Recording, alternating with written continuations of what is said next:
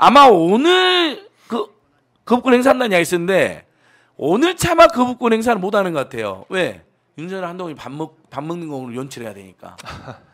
지난주에 서천 화재시장에서 거기를 화재 현장을 봉합쇼로 악용했다. 상인들도 만나지 않았다. 상인들 막 항의하고 난리 났잖아요. 그랬죠. 근데 뭐 상인 159 상인을 만나 상인 150을 만났다고 용산 부- 대표님이 거짓말하고 사진 봤더니 예.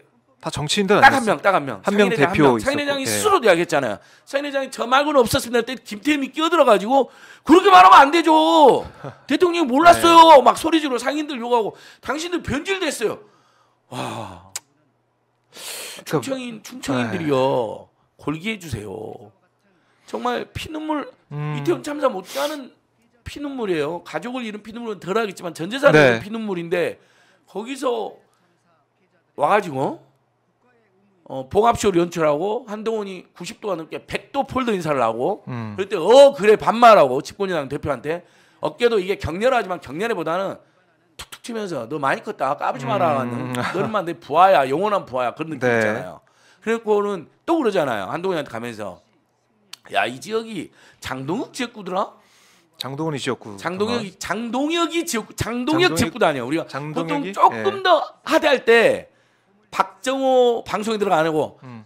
박정호네 뭐 박, 박정호 바- 아니 장동혁이 박정호 뭐 그러니까 뒤에 박정호가 네. 뭐 이런 식으로 그 붙일 때 조금 더 하대 의미가 있잖아요. 네, 네. 그러니까 그거잖아 한동훈한테 너 비대위원장 장동훈 사무총장이 아는데 니들은 다 내 부하들이 핫바르들이야. 음. 그리고 상인 안 만나고 갔잖아요.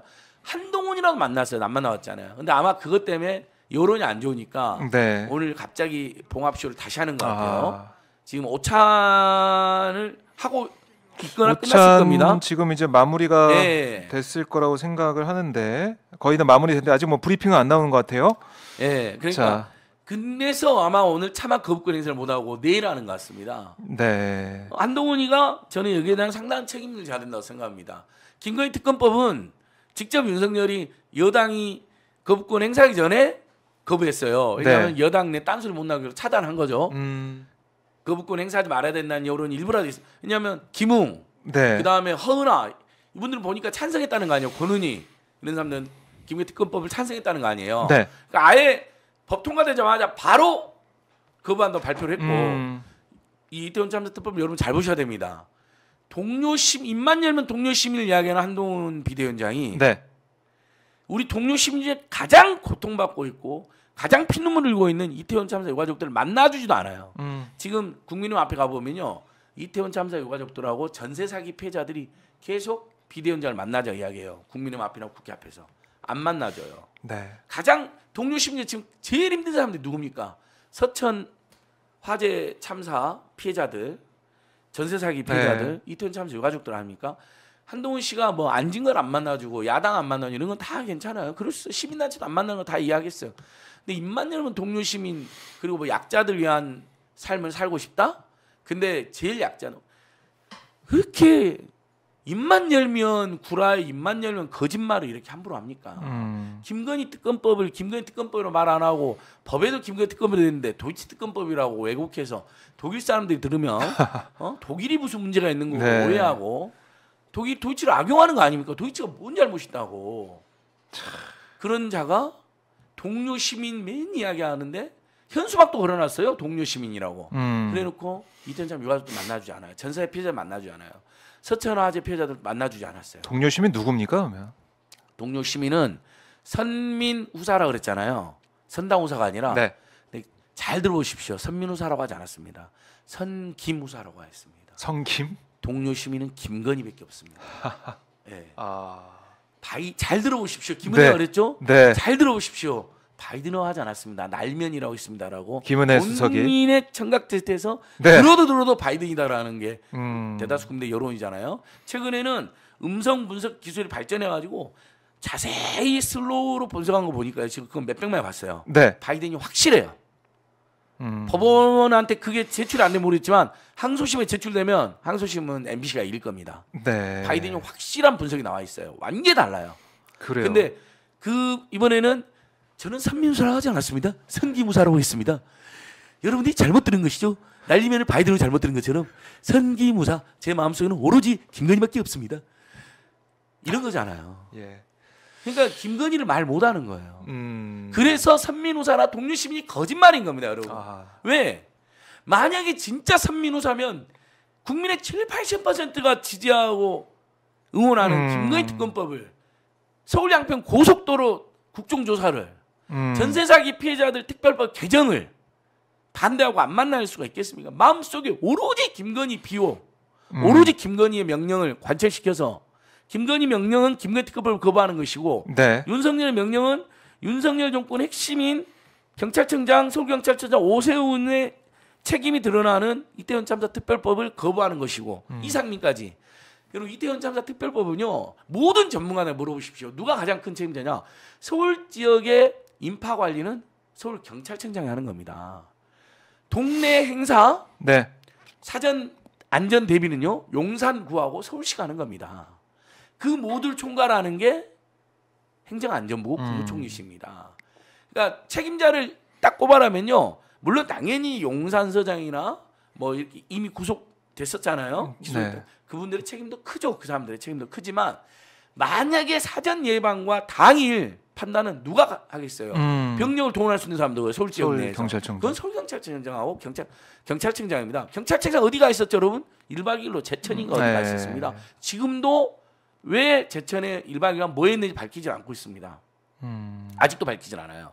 그다음에 그러면 서울 이인자 서울경찰청장 백남기 어르신 물대포 맞고 돌아가셨을 때요. 서울 경찰청장 현장을 다 파악하고 쥐했거든요. 유죄 선고 났습니다. 음. 똑같 비슷합니다. 보세요. 이태원에 사람들 모여들었어. 언론 병력을 보내가지고 분산시켜 안전하게 그 말 안 한 거하고 그 다음에 서울 시내에서 농민들이 집회를 해 수천 수만 명. 근데 곧 있으면 내려가. 음. 뻔히 버스가 기다리고 있어요. 관광버스가 기다리잖아요. 지역으로 내려가시거든요. 그 뻔히 알면서 물대포 쏴버려, 죽여버려, 뭐 거의 이런 거잖아요. 서울 경찰차 직접 물대포 쏴버려, 죽여버려 이런 말 안 했다 하더라도 그런 그런 취지대로 지금 강제 진압이 이루어지고 폭력 진압이 이루어지고 있는데 네. 상황을 다 알면서 아무 말 안 한 거거든요. 음. 그거에 대해서 유죄 선고가 떨어진 겁니다. 네. 자, 지금 말씀드리는 순간 서울 지하철 6호선 이태원역 1번 네. 출구 앞에서 유가족들과 또 대책위 관계자들이 오체 투지 준비를 하고 있는 그런 상황입니다. 자, 이제 보라색 와. 옷을 입고 네. 진상 규명 요구하는 보시면 플래카드 그러니까 저기 피켓을 들고 서 있습니다. 20대에서 30대 희생자들이잖아요. 네. 그러니까 부모님들이 대부분 50대, 60대이세요. 그러니까 오체 겨울에 집회 시하는 것도 어려우시거든요. 음. 근데 집 오체 투지 지금 다행히 눈은 없- 눈은 지금 녹았지만 네. 여기서 저 이태원역에서 녹사평역 거쳐가지고 용산까지. 저기 뭐 우리 대통령- 민변의 권영욱 변호사가 네. 보는데요. 용산 지무식당 가는 거잖아요. 그렇습니다. 오체 투지로 가면 몇 시간은 걸릴 거예요. 네. 굉장히 어려워요. 음. 다행히 눈이 없어서 그것만은 정말 다행입니다. 네. 세상에 여러분 가족을 잃고 피눈물을 흘리고 상처받는 분들이 어 아이들 영정과 이름도 없이 강제로 관제 분양을 당한 분들이 음. 진짜 1년 반째 이래야 되는 겁니까? 정말 정말 국민의힘을 지지하는 국민들께서도 이건 아니라고 이야기해 주십시오. 이건 음. 진짜 아니야. 저분들이 뭘 바라는 게 하나도 없습니다. 세월호 참사 유가족들이 하도 당하는 걸 봐가지고요. 네. 저분들이 굉장히 조심스럽게 제가 아까 말씀드렸잖아요. 야당이나 네. 시민단체들하고 연계까지도 조심스럽게 음. 집회 때 발언해달라 해도 옛날 이제 우리가 한참 촛불 집회 했었잖아요. 2022년 네. 10월 29일 날 참사가 났고 촛불 집회 때 발언해 달라고 제가 요청하면 발언 안 하세요. 왜? 음. 여기는 퇴진 집회고 정치 정치색이 짙으니까 우리가 발언하다가 세월호 참사 유가족처럼 공격받을까 봐 세월호 참사 유가족 잘못했다는 게 아니라 네. 너무 당연한 활동했는데도 엄청난 공격을 받았잖아요 당시에도 음. 그래서 진짜 조심조심 가슴 졸이면서 여기까지 오신 분들이에요. 네. 그, 그 법이 뭐라고. 우리 국민들 세금 내서 다시는 이런 참사가 안 일어나게 유가족들 하늘을 풀고 계기를 만들면 그 특별조사위원회 예산 우리 국민들 지금 이 법 자체도 7, 80%가 다 찬성을 하셨잖아요. 음. 김건희 특검법, 대장동 특검법, 서울 양평 고속도로 국정조사, 이태원 특검 이네 개는요. 그다음에 박정훈 수사단장님 수사, 탄압안 네. 이 다섯 개 이슈는요. 각각의 엄청난 이슈일 뿐만 아니라 국민들 거의 윤석열 정권은 그냥 극단적으로 그냥 음. 독도를 팔 독도를 팔아먹겠다 해도 지지하는 뭐 극단적인 세력 외에는 대부분이 다 이건 문제 있다. 특별법이든 국정해야 된다고 생각하는 분들이거든요. 음. 그러니까 지금 보면 저도 이제 국회 앞에서 단식 농성하던 어머님은 인터뷰한 적도 있었는데 예. 바라는 건 이런 참사가 다시 일어나지 않기 위한 재발 방지책 이거 제발 좀 마련해 달라 이런 목소리를 내고 있는 것이고 그런데 아, 국민의힘도 그렇고 오늘 뭐 대통령실 쪽에서 나오는 얘기 관계자 발 얘기를 좀 들어보면 유가족을 지원하는데 초점을 맞추는 그러니까 여러 가지로 어, 유가족들 위로하고 보상하고 지원하고 뭐 여기에 이제 초점을 맞추는 지원책이나 추모공원 조성 이걸 검토하고 있다. 지원책을 내놓을 테니까 이렇게 좀 가자 이런 얘기를 얼마나- 하는 것 같아요. 얼마나 엉, 엉뚱한 거냐면요. 네. 가족들이 지금 그걸 원하지 않아요. 음. 그건 맨 나중에 네. 맨 나중에 이태원 참사 현장이든 어디든 다시는 이런 일이 발생하지 않도록 추모비나 네. 그다음에 경계비를 만들 수 있겠죠. 음. 성수대교 참사 있었잖아요. 94년도에. 네, 네. 지금 아, 눈에는 안 보이는데요. 이렇게 성수대교에서 일반 대중교통으로 안 보여요.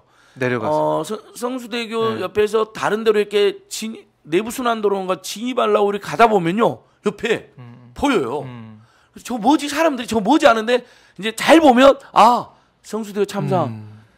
추모비구나 이렇게 해요. 네. 근데 그것도 다 왜 성수대교 참사가 일어나니까 당시도 얼마나 황당했습니까? 삼풍백화점도 그렇고요. 음. 94년, 95년 그렇죠. 그걸 다 밝혀낸 다음에 책임질 사람 책임지고 그래서 망자의 한과 유가족들의 피눈물을 다는 못 닦아줍니다. 음. 어떻게 그 충격과 고통이 없어지겠습니까? 평생 남은 엄청난 충격과 고통과 비통이죠. 가족이 아닌 우리들 저, 제 마음도 지금도 저는 지금도 그날 밤을 혼자 상상해봐요. 네. 와 그냥 지나가다가 축제인데 친구 만나러 왔는데 술 한잔 먹으러 왔는데 이태원 그거 할로윈 축제 구경하러 왔는데 나도 갔, 저라도 갔을 것 같아. 네. 20대 30대 진짜 저도 많이 다녔거든요. 데모만 한 게 아니에요. 저도 막 놀러 다니고 음. 축제 재밌잖아요. 불꽃놀이도 막 가보고. 근데 사람이 많아. 조금 집회 때도 사람 너무 많으면 막 숨 막힐 때 있거든요. 네. 이렇게 막 도망가거나 경찰이 쳤을 때 옛날에. 그렇죠. 근데 그 기억이 나는 거예요. 아. 근데 그게 점점 좁혀와. 아, 난 놀러 왔는데, 네. 나 애인이랑 같이 즐기러 왔는데, 점점 좁혀와. 숨이 안 쉬어져. 네. 엄마, 아빠, 애인 누구야? 친구 누구야? 마지막으로 이렇게 소리 지르 쓰러신 거 아닙니까? 이게 상상이 됩니까? 심지어는 서서 숨진 사람도 있다는 추정이 나왔잖아요. 네. 넘어진 것뿐만 아니라 얼마나 압박됐으면 서서 이미 실신해버리거나 네. 숨진 분이 있다는 도대체 어떻게 대한민국 수도 서울에서 21세기 문명 국가에서 음.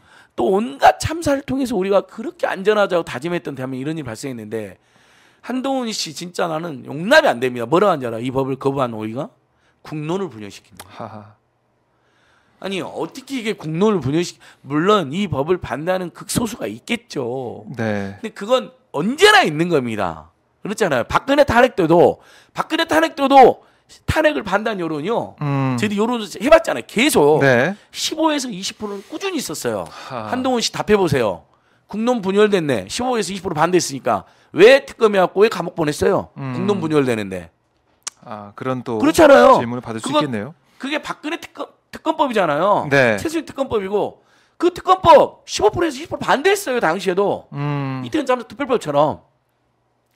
근데 국론 분이 그때는 네가 하니까 괜찮고 이것은 야당이 하니까 유가족이 하니까 국론 분열이냐? 음. 이런 말이 나올 수밖에 없어요. 정말 나쁜 사람 내가 한동훈 흉내 더 낼 수도 있는데 네. 제가 열받아서 못 내겠어요. 아니 그러니까 이게 성대모사 할 수가 있는데 네. 열받아 못 해. 왜냐면 성대모사 하면 웃기니까 아, 지금 너무 심각하니까 못 하겠어요. 그럼요. 아니 오늘 송도한 국가인권위원회 위원장도 특별법을 조속히 공포해야 된다라고 촉구를 예. 했더라고요. 성명을 냈더라고요. 맞습니다. 국가인권위가 그러니까 해줘야죠. 이렇- 늦었네요. 이렇게 얘기를 했어요. 조속히 특별법안이 공포돼서 독립적인 조사 기구에 의한 참사 진상 규명과 구체적인 피해자 권리 보장, 재발 방지 대책 마련 등에 필요한 절차가 하루빨리 진행될 수 있길 기대한다라고 얘기를 했고 우리나라는 유엔 시민적 및 정치적 권리에 관한 국제 규약에 가입한 당사국이다. 유엔 자유 어, 자유권 위원회의 최종 견해를 이행하기 위해서 노력할 의무가 있다. 이렇게 얘기를 했네요.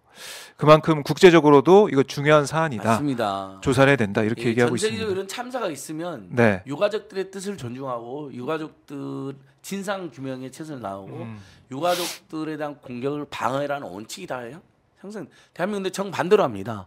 윤석열 팬클럽이 나서서 공격을 하고요. 네. 여당 의원들이 유가족들을 조롱을 하고요. 음. 우롱을 하고요. 그리고 진상 규명 하나도 안 돼 있는데 진상 규명 됐다고 거짓말하고 네. 아, 이러다 보니까 상당히 국가인권위가 네. 오늘 늦었지만 입장 잘 낸 겁니다. 어, 진지게 냈어야 되는 건데 내일 거부권 행사를 앞두고 오늘 내일 했는데 내는 거는 문제가 있지만 네. 국가인권위 굉장히 지금 위축돼 있거든요. 국민의힘 계열의 음. 그 상임위원들이 이런 사람들이 만행을 저지르고 네. 그 박정훈 수사단장 때도 긴급 구제 신청 박정훈 수사단장이 지금 구속 구속이 되게 생겼고 직위해제 당하고 막 탄압받고 있는데 긴급 구제 신청을 기각했잖아요. 그런 것처럼 국가인권위도 지금 굉장히 후퇴하고 있는데 그래서 늦게 입장이 나온 거죠. 음. 하지만 이 위원장님이 지금이라도 내주신 건 너무 다행합니다. 네. 그러나 윤석열은 안 들을 겁니다. 그렇죠, 여러분. 자, 월요일 날 민생 토론회를 앞두고 한동훈이 마음에 안 든다는 이유만으로 마레앙또한테 발언이 나왔다는 30분 남겨놓고 취소를 민생 토론을 취소한 자들입니다. 네, 불참. 감기. 몸살 기운이 심해서 불참했답니다. 근데 그 다음 날 목도리도 마스크도 없이 나타나요. 어, 그러네요.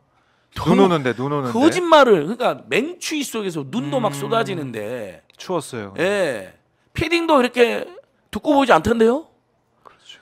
어? 감기 몸살 때문에 생방송을 앞두고 있는 행사를 취소한 자들이 국민과의 약속인데. 국민과 약속을 네. 근데 그 다음 날 멀쩡하던데요? 네. 그러게요. 마스크도 안 쓰고 목도리도 안 하고 장갑도 안 끼고 건들건들 나타나가지고 어 그래 한동 인사하니까 툭툭 어 그래 막 속으로 이 새끼 이번에 많이 컸다 너 음. 까부지 마 김건희 건드리면 다 죽여 저는 속으로 그러냐 했다고 생각해요 아. 그래서 그 연장선상에서 이 지역구와 장동혁이 지역구도구만 음. 장동혁 지역구도 아니야 촌칭 생략이 아니야 장동혁이 완전히 음, 우리가 음, 보통 음, 음. 후배나 부하들 네. 부를 그런 때 말투로 그 보이네요. 말투로. 그래서 여기서 한동훈 완전히 짤짤 매고 있고 음. 그래서 사랑하고 존경한다는 느닷없는 말하고 온 국민이 지금 윤석열 때문에 고통받고 있는데 네. 그 메시지가. 저는 대통령님을 너무나 사랑하고 존경합니다. 제 존경과 신뢰 마음은 한 번도 변함이 없습니다. 와. 그리고 그래서 기자들이 계속 물어보니까 음. 김건희 특검법에 지금도 김건희는 입에 못 올리는 거 아세요? 김건희란 세자를 네. 김건희 길도 꺼내질 않아요. 음. 뭐 여산 여사 특검법 어떻게 생각하냐? 제 입장은 변함이 없습니다. 그렇네요. 사과를 요구하는 입장은 제가 사과를 요구한 적 있나요? 음. 그런 적이 없는데요. 하하. 그러니까 아예 김건희 기금 꺼내질 않아요. 한 윤석열 한동훈이 비대위원 내리꽂으면서 아마 분명히 그 이야기를 했을 것입니다. 음. 김건희의 기획도 못 나오게 해라. 너 믿는다. 네. 우리가 시킨 대로 해. 너, 너 누가 중앙지검 3차장 시켜줬어. 음. 너 누가 대검 반부부장 시켜줬어. 너 누가 법무장관 시켜줬어. 너 누가 음. 서로 하려고 하는 비대위원장 시켜줬어. 너 어렸을 때 윤석열이 특활비 엄청 줬을 거거든. 저는 다시 한번 말하는데 여러분 한동훈한테 그거 물어봐야 돼. 딸 문제하고요. 네. 특활비. 음. 윤석열이 명절이나 연말에 엄청난 특활비 뿌렸는데 한동수 대검 감찰부장도 와서 이야기했잖아요. 네. 자기 같이 문제 제기하는 사람도 또 5만 원째 몇장 네, 줬다는 거 아니에요. 그러면 엄청난 특활비를 국민열세를 형량해서 명절 때 하고 음. 연말에 엄청 줬다는데 한동훈 줬겠습니까 안 줬겠습니까? 박 기자님 상식적으로 줬을 거라고 생각이 그러니까 되는데요. 줬을 거라고 상식적으로 100% 팩트는 아니고 여러분 저도 제가 팩트는 그랬- 팩트로 하잖아요. 근데 항상 우리 든다. 저희는 의혹이면 의혹이라 말씀드리잖아요. 음. 저는 엄청 받았다고 봅니다. 측근들한테는 아주 두툼하게 줬답니다. 그래요. 예. 음. 왜냐하면 그걸 어떻게 할 수가 있냐면 2016년도에 박근혜 수사팀한테 당시 중앙지검장 이영렬이 지금 검찰총장 이원석한테 봉투를 줬는데 그 수사 잘했다고 음. 거기서도 70만 원을 줬습니다. 70만 원에서 100만 원을. 그 그때도 네. 한 번에 그 그건 사실 이건 팩트니까 여러분. 음. 이원석이는 동본대에 대해서 할 이야기할 자격이 없는 자입니다. 지가 돈 봉투를 받아놓고 국민열세로 그 특수활동비 아니잖아요. 특수수사 아니잖아요. 네. 그냥 어 요즘 수사 고생했네 하면서 회식 그것도 특수활동비로 먹었을 겁니다. 그 다음에 봉투로 70만 100만 원을 준 거예요. 그 자리에 있는 음. 사람들한테. 그랬고 어디서 야당 돈봉투 사건을 입에 올립니까? 마치 국기문란이 된 것처럼. 음. 그건 국민 열세 한 푼도 안 들어갔잖아요. 누가 5천만 원 기부해서 나눠 거기 선거운동을 나눠줬다는 거잖아요. 적어도 윤석열 한동훈 이원석은요 그 야당 돈봉투 사건에 대해서 말할 자격이 없는 자들입니다. 그 자들은 국민 혈세로 그렇게 매덕에서 몇십을 횡령해 갖고 돈을 뿌린 거고요. 자기 부하들한테만 그것도 마음에 드는 사람들한테 많이 마음에 안 드는 사람들은 안 주거나 조금만 주고 음.